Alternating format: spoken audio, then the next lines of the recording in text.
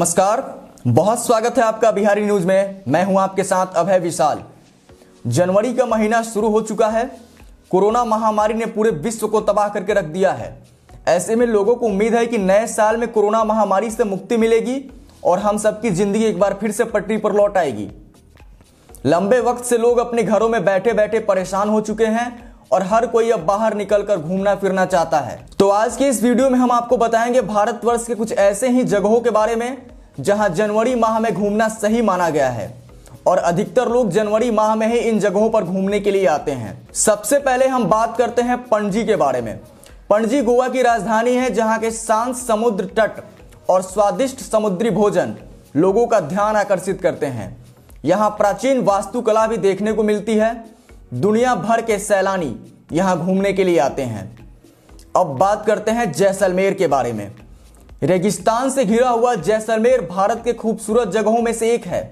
यहाँ हवेलियाँ, किले और मंदिरों की भरमार है, जो कि बलुआ पत्थर से बने हुए हैं। सर्दी में भी यहाँ की खूबसूरती काफ़ी बढ़ जाती है। सर्दियों में और खास करके जनवरी में यहाँ की खूबसूरती काफ़ी ज़्यादा बढ़ जाती है। अब बात करते हैं कोच्चि के बारे में। कोच्चि भारत के सबसे खूबसूरत जगहों में से एक है। यहाँ हर वर्ष हज़ारों पर्यटक घूमने के लिए आते हैं। जनवरी महीने में यहाँ काफ़ी ज़्यादा संख्या में पर्यटक देश विदेश से घूमने के लिए आते हैं। अब बात करते हैं कच्छ का रण के बारे में। कच्छ का रण गुजरात में स्थित है। यहाँ गुजराती कल्चर की झलक देखने को मिलती है।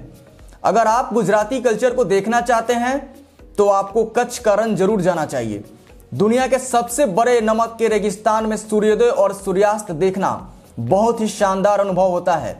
सर्दियों में यहाँ पर्यटन के लिए जाना अच्छा समय माना गया है। अब बात करते हैं महाबलीपुरम के बारे में।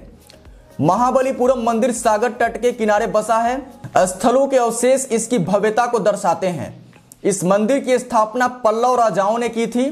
यहाँ भी जनवरी माह में हज़ारों पर्यटक दर्शन करने के लिए आते हैं। अब बात करते हैं एलेप्पी केरल राज्य में स्थित है और कपल्स के बीच काफ़ी ज़्यादा फ़ेमस है। यहाँ के बैक बोटर्स में मौजूद हाउस बोट में रोमांटिक पल बिताने का एक अलग ही अनुभव होता है। यही कारण है कि शादीशुदा लोग यहाँ घूमने के लिए आते हैं। अब बात करते हैं दावकी के बारे में। दावकी मेघालय में स्थित है और मेघालय के पूर्वी जयंतिया हिल्स ज़िले में स्थित दावकी एक बहुत ही खूबसूरत कस्बा है।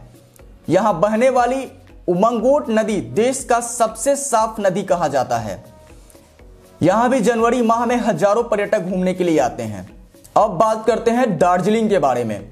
दार्जिलिंग एक बेहद खूबसूरत जगह है। यहाँ आपको ट्री प्लांटेशन, टॉय ट्रेन से लेकर मोनेस्ट्री तक देखने को मिलेगा। जनवरी में दार्जिलिंग की खूबसूरती काफ़ी ज़्यादा बढ़ जाती है।